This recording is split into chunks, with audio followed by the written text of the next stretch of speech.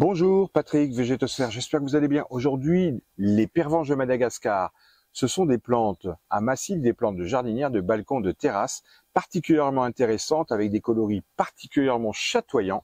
Si vous voulez en savoir davantage sur cette pervenche de Madagascar, c'est tout de suite sur Végétosphère. N'oubliez pas le petit pouce bleu, n'oubliez pas de vous abonner. Shall we begin?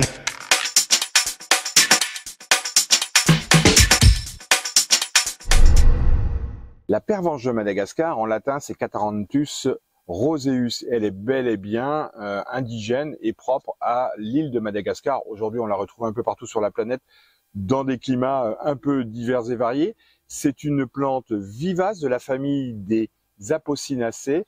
Elle est vivace et non rustique, c'est-à-dire qu'elle va geler euh, dans la plupart de l'hexagone, en tout cas dans les, zones, dans les zones froides. Elle peut geler et disparaître. Donc, une vivace cultivée comme annuelle, qui est gélive et qu'on peut retrouver aujourd'hui un peu partout euh, sur la planète et en particulier si vous allez à la Réunion, qui est juste voisine euh, de Madagascar, mais aussi euh, de l'autre côté, du côté de la Guadeloupe, de la Martinique ou encore de la Guyane, cette plante se retrouve un peu partout dans les jardins là-bas, tropicaux, subtropicaux, c'est bel et bien sa place. Et c'est alors une vivace. Pour nous, dans nos jardins, cette apocinacée est une plante qui est euh, donc cultivé comme annuel, proposé comme annuel parmi euh, les dipladénias, les géraniums et autres euh, œillets d'Inde, etc. C'est une fausse annuelle, j'ai bien dit, une vivace, cultivée comme annuelle parce que c'est beaucoup plus simple pour les horticulteurs et pour nous. Ça sous-entend quand même que cette plante, vous pouvez la garder. La preuve, ça, ce sont les plantes achetées cette année.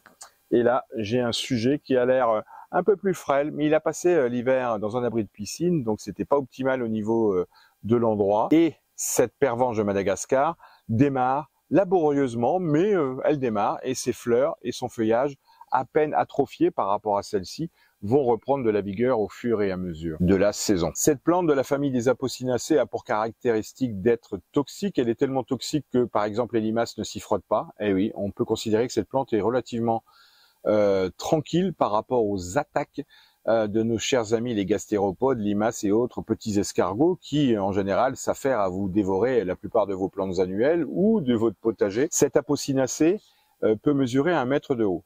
Ça, c'est plutôt dans son biotope, dans son écosystème d'origine, quelque part entre Madagascar et l'Afrique du Sud.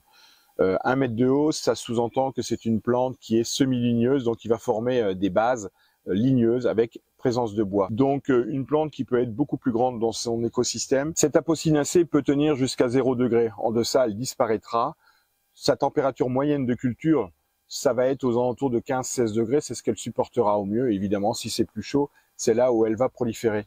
Euh, à l'origine, cette plante est plutôt une plante de mi-ombre. On sait, on, on voit, on remarque qu'elle est capable de pousser dans des conditions euh, ensoleillées. Il suffira d'arroser un peu pour pouvoir tenir cette plante qui, elle, va continuer à s'étoffer, à fournir de nouvelles pousses et à fleurir. Une floraison qui va quand même euh, s'effectuer au cours de six mois sur l'année. C'est considérable. Les couleurs que peuvent proposer les Cataranthus sont rose, violet, rouge, bleu, blanc euh, et parfois du bicolore. Le feuillage peut être particulièrement brillant. Les nervures sont saillantes, bien visibles. La fleur qui nous rappelle la pervenche de nos sous-bois, je mets une photo pour voir la comparaison, euh, va faire 2 à 3 cm de diamètre. C'est le maximum qu'elle puisse proposer. Les fruits font 2 euh, à 4 cm, difficilement observables chez nous. Ça peut arriver, mais c'est quand même relativement rare sous nos latitudes. Cette plante buissonnante, polyvalente, à feuillage persistant, est particulièrement appréciée euh, dans les jardins publics tropicaux. On va la retrouver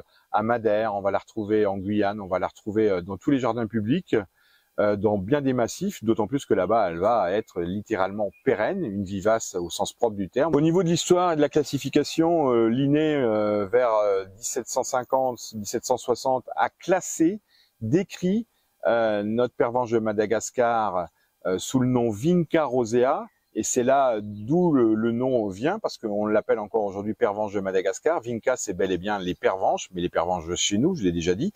Et elle a été révisée, révisée, cette classification, par un Britannique qui s'appelle Georges Don en 1837 et qui va véritablement la classer, la renommer Cataranthus roseus, qui est aujourd'hui encore le nom latin, le nom scientifique pratiqué. La pervenche de Madagascar peut se cultiver en massif au sol, euh, partout en France. Évidemment, dans les régions où il ne gèle pas, on peut tenter l'expérience. Sinon, on peut la déterrer et la rentrer, la mettre euh, dans un pot plus grand et essayer de la rentrer dans une serre, une véranda et essayer de la garder car c'est tout à fait possible. La preuve, euh, j'ai un sujet derrière moi qui a fait l'objet d'un hivernage euh, dans un abri piscine, c'est tout à fait possible. L'usage en jardinière, euh, bac, suspension, c'est tout à fait possible. Dans, une suspension, ça sera la plante érigée, elle n'a pas cette capacité à retomber, donc ça sera une énorme suspension avec d'autres plantes associées, mais elle est euh, tout à fait capable d'aller dans une suspension, dans une jardinière, bien évidemment. C'est souvent là où on peut la disposer. Elle a juste ce petit retard à l'allumage qui fait que sa floraison n'étant pas aussi précoce que la plupart des plantes annuelles ou dites annuelles, elle arrive un peu tardivement à l'image de notre plante Angelonia qu'on vous a fait découvrir dernièrement. Elles arrivent un peu tardivement sur le marché, ce qui fait que pour ceux qui vont réaliser leur jardinière très tôt, euh, fin mars, début avril, les pervenches de Madagascar sont pas forcément présente. Donc c'est une plante qui arrive un peu plus tard. Elle a donc besoin de chaleur. Il est possible de garder cette plante euh, à l'année en intérieur. À ce moment-là, elle va s'étioler, elle va pousser davantage, elle va fleurir beaucoup moins. Mais c'est tout à fait possible de la retrouver un peu à l'image d'un coléus euh, à l'intérieur à l'année. Euh, c'est un port et une façon de vivre qui est complètement différente de celles qui sont en jardinière, en massif, à l'extérieur, pour les beaux jours. Une chose que j'ai oublié de, de citer, c'est euh, la nature du terreau. C'est un terreau léger et filtrant. Euh, ça peut être un terreau géranium hein, parce qu'il a toutes les caractéristiques particulières pour faire en sorte que ces plantes tiennent et longtemps dans des conditions parfois difficiles que sont les jardinières, les bacs ou les suspensions avec des coups de chaud, des températures absolument infernales, des manque d'eau parfois ou des excès d'eau avec des averses et des orages euh, vraiment nombreux. Donc ces terreaux sont particulièrement indiqués pour la plupart de ces plantes et ça va évidemment très bien pour notre pervenche de Madagascar. La pervenche de Madagascar, à l'image des apocinacées, est bel et bien une plante toxique, donc tout est toxique, la fleur, la feuille, euh, les tiges, absolument tout. Donc on prend bien soin de ne pas les laisser accessibles avec des enfants qui auraient tendance à tout porter à la bouche et en particulier des feuilles. Justement, en parlant de toxicité, c'est aussi une plante qui a euh, des vertus euh, médicinales reconnues euh, du côté de, la, de Madagascar, à savoir une plante qui permettrait de lutter contre les diarrhées, la dengue, euh, des problèmes avec les maladies de Hodgkin notamment.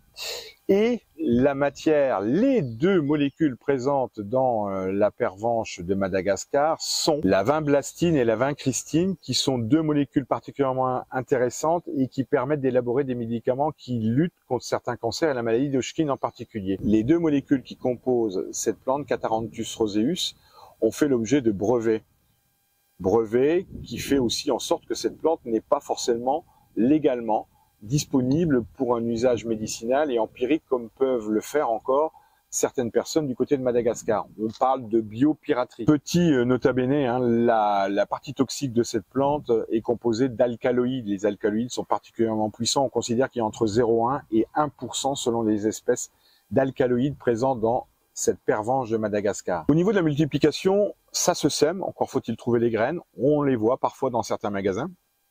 Un semis très précoce en janvier-février avec les repiquages jusqu'en mars-avril afin de pouvoir disposer de jeunes plants en avril-mai. En ce qui concerne le bouturage, rien de plus simple. Le bouturage idéal, c'est vers le mois d'août, c'est vraiment le mois des boutures. Chaleur et humidité peuvent vous permettre d'avoir très rapidement un nombre important de plantes il faudra alors hiverner ces plantes pour pouvoir en profiter en boutons, en fleurs dans vos jardinières ou vos massifs en l'année suivante, N plus 1. Soins, fertilisation, arrosage. Alors c'est une plante qui a besoin d'eau régulièrement, elle déteste les eaux stagnantes, même si euh, l'écosystème d'origine est plutôt une prairie légèrement humide. En ce qui concerne les parasites, les maladies, euh, là on trouve euh, les pucerons, les cochenilles, on trouve même du trips, ce qui est assez rare dans les plantes ornementales notamment. On, a aussi quelques maladies, notamment les maladies liées à des excès d'eau. Donc là, on a du botrytis et des pourritures, des fonds de desmi, notamment pour la multiplication. Par contre, hein, comme je l'ai dit tout à l'heure en introduction, euh, là, vous êtes relativement tranquille avec les gastéropodes, les limaces et les escargots. Ces plantes, euh, ils les détestent. N'hésitez pas à rejoindre la description, vous y trouverez un certain nombre de variétés et de couleurs proposées par ces différentes pervenches de Madagascar.